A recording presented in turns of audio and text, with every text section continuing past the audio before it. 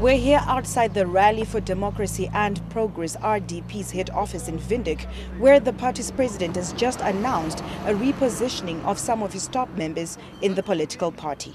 We asked what brought about the need for this reshuffle.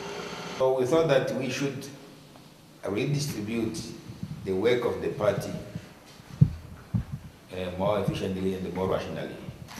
Those who are in parliament sometimes are required to focus on the work of the parliament.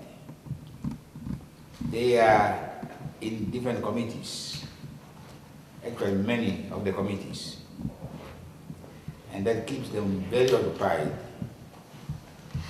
and they therefore unable also to pay full attention to the function of the party.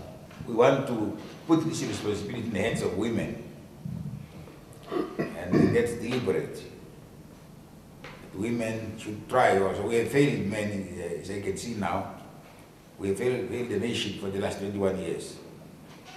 So we need to give the challenge in the hands of women. It is hoped that this reshuffle will strategically place the RDP in carrying out its mandate as the country's biggest opposition party. Kuda Chiswetu News on One.